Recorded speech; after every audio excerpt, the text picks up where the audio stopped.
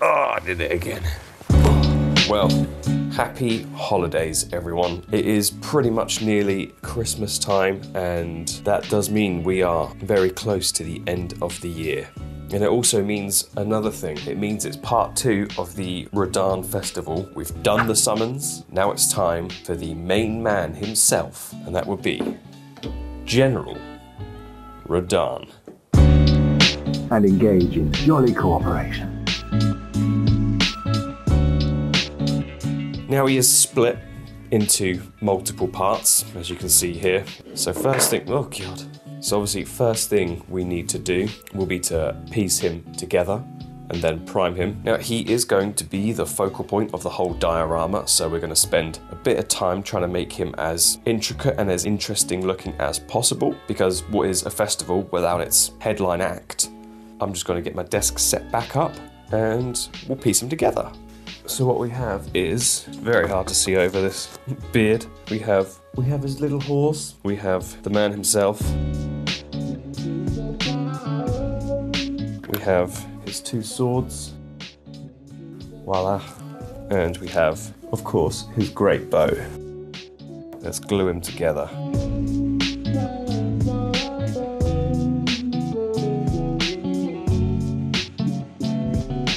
So there he is in all his glory.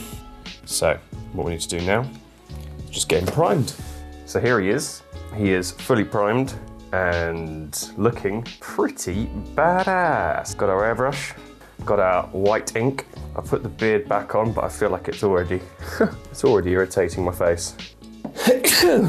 so from a high up, top down angle, I'm gonna get spraying on top down and highlight this bad boy up.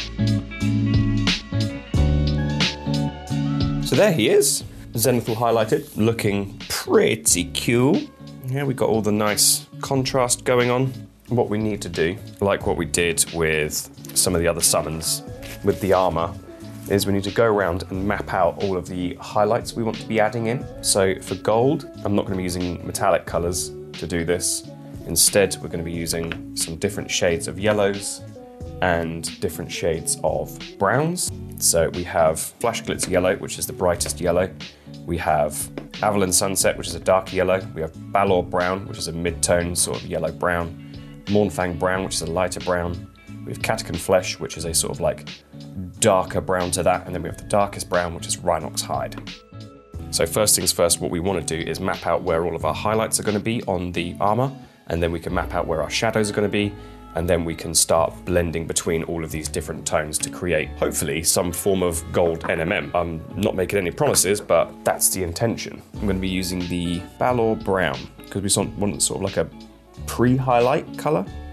So this is a good tone to start with. And kind of following where the zenithal highlight has picked out our places for highlighting, I'm going to kind of follow that to sort of generate where I want the highlights to kind of be.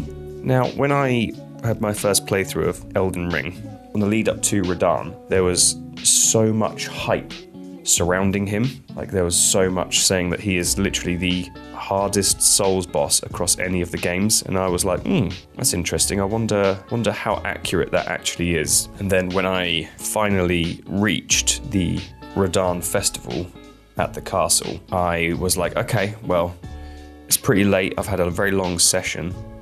So I'll probably pop a pause in it here and I'll come back tomorrow to fight him because I sort of want to be fresh and in a good mindset to take him on. So I was like, okay, it's fine. I can put pause in it here and I can come back later on to fight him.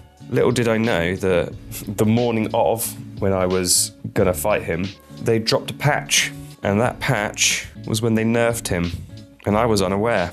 So when I came to fight him, absolutely destroyed him. And I was like, what the hell? What a completely underwhelming boss fight. Like, it was cool, don't get me wrong. I was like, yeah, I mean, what a cool boss. The actual festival itself and the whole fight, um, when you've got all the summons and you're all taking them on and they're all getting absolutely battered. Obviously, you got patches running away, which is hilarious. But I was like, this is not living up to the level of difficulty that people were hyping it up to be. And then obviously, I realized what happened. I had fought him literally a couple of hours after it was patched, which was, oh, that was upsetting. So I'll be interested to see what your guys' take on fighting Radahn was. Did you fight him pre patch?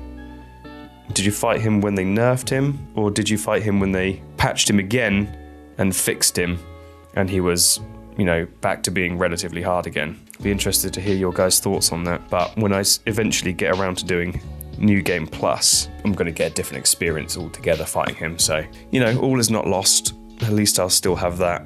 So it's starting to come on. There we are. Getting those highlights built in. What I'm probably going to do to save time and so you don't have to see everything twice is I'll probably paint one side fully and then I'll just replicate exactly what I did to the other side. So we have here the pre-highlight kind of colour done across the armour and the swords, everything that's gold basically. I realised that actually what I painted here is part of the cape so I've just quickly just gone over with some white because we'll paint that red later on, but you know. So next up what we need to do is add in the shadows to him. So all of the sort of like opposite areas to where we've just done this sort of pre-highlight. We're gonna go in with some Rhinox hide. Oh god, I've just broken something now. I'm always breaking something. I think to make things easier for this video, what I will probably actually do is I'll just do the entire torso, just outlining what my process is for doing this, and then I'll kind of just replicate around it afterwards, so we don't have to see every little bit being done. Probably an easy way of doing it, isn't it? So all the little shadowy bits, sort of bits that be facing away from the light source, I'm gonna coat with some Rhinox hide. So there we are, there's the shadows on the torso coated with Rhinox hide. Now, what we shall do is we're going to take some Averland Sunset, and within the Balor Brown that's already been coated on, I'm going to pick out the highlights of this.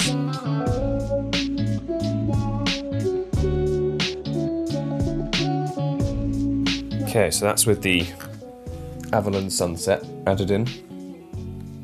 You see, we're slowly starting to bring some brightness into proceedings. I think I will try some Flash Gitz Yellow just see how it how it highlights brighter points. Yeah, that's with some Flash Gitz Yellow put in. And then next what I'll do before we start glazing and blending is I will add in some Mournfang Brown into the mix, just into the shadows. Okay, here we have some Mournfang Brown mixed into the shadows. So all I'm going to do now is just mix in different tones and glazes between them, really thin down, and just start blending them together a bit more.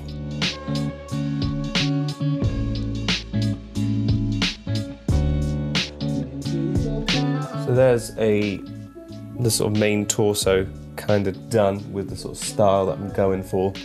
So we've got the sort of like dark Rhinox hide in the recesses, and we're sort of blending up through the Catachan flesh and the Mournfang brown up into the sort of yellows where we've got the the Balor brown, which is the dark yellow, which is what we started with, up into the Averland sunset, and then into the sort of flash gitz yellow. I kind of toned that down a bit, and I was kind of mixing in a bit of white with the Averland sunset to generate some highlights. So using those colours that I used on this, on the main torso, I have now coloured in all of the areas of gold on his armour.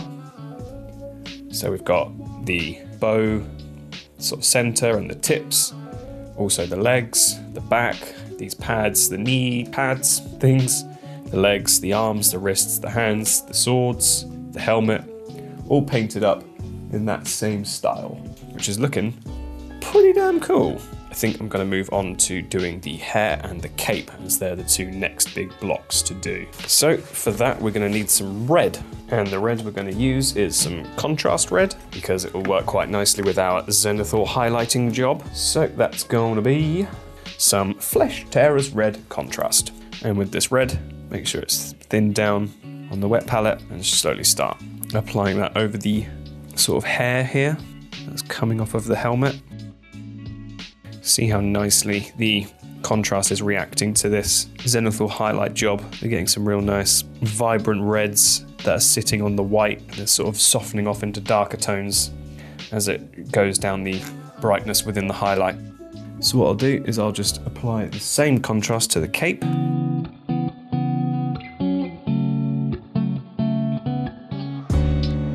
There we go, there is the cape and the hair done with Flesh Tearers Red. So we'll just have to let that dry for a wee bit. But as we can see it there, it's reacted really nicely to the zenithal highlight job. Looks really cool. So next up, we're gonna paint the fur details around. I'm gonna go with some Garaghak's Sewer. Okay, so that's the legs done. And now I'm just gonna do the sort of these sort of underarm parts here. Just being careful not to ruin our lovely gold armor, because that would be a nightmare to try and fix. Okay, so that's the dark parts applied with some Garaghak's Sewer. We are getting there. Now, before we move on to the fur, there are some other even darker parts which we can coat with some Black Legion, and that would be these straps at the front here. I think I'm just going to to coat the whole thing and then just go over the details with the gold. Otherwise, it's going to be a bit tricky to try and go around what I've just detailed in without messing it up. So just going to mess it up to go back over it again. So for the fur, I'm going to base it with some Skavenblight Dinge.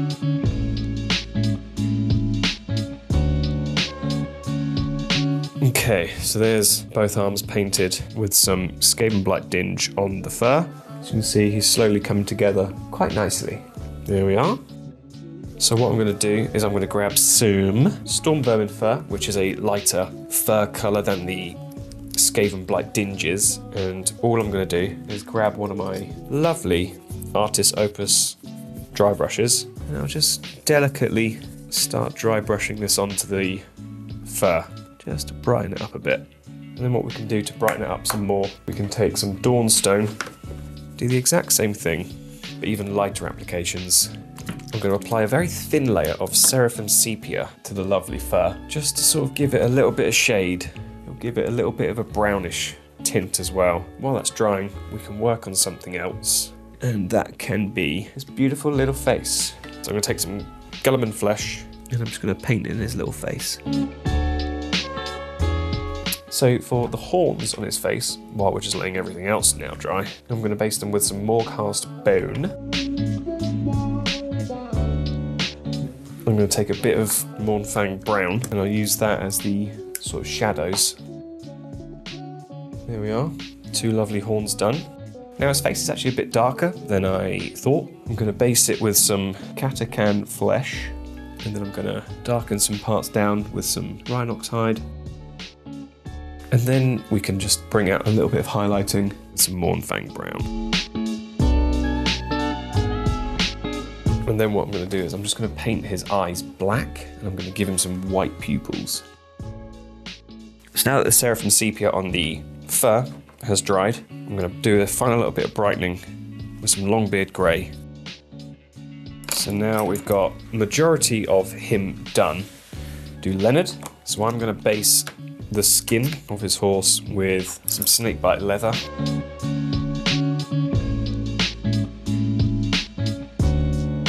I think the hair, the mane, sorry, the mane on the horse is the same as Radahn's. So I'm just going to go back to my red contrast paint.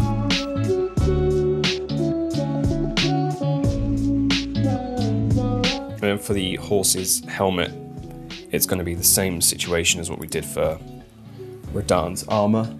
And I'm just going to paint in his little wee hooves, just with some Abaddon black. I mean, they're going to be deep in sand anyway, so we won't see them, but just for the sake of it.